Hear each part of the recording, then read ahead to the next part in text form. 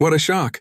This might just be the most profitable project on Earth, often called a money printing machine because it generates nearly 40 billion yuan in revenue every year. This is none other than China's iconic Three Gorges Dam, a project that took 12 years to complete and stands as one of the greatest achievements in hydropower engineering worldwide.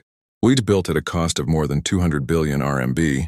The dam uses a massive gravity structure, consuming over 26 million tons of concrete and 20,000 tons of steel. Its sheer scale is breathtaking. At each year, the dam produces more than 100 billion kilowatt hours of electricity, supplying energy, preventing devastating floods, and securing water for agriculture.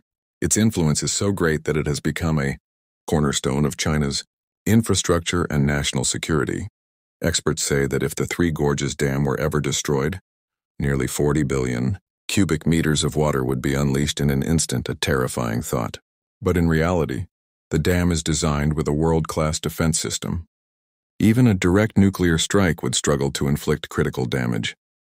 Today, the Three Gorges Dam is not only the largest concrete gravity dam on the planet, but also the biggest uh, hydroelectric power station in history, a true testament to human engineering.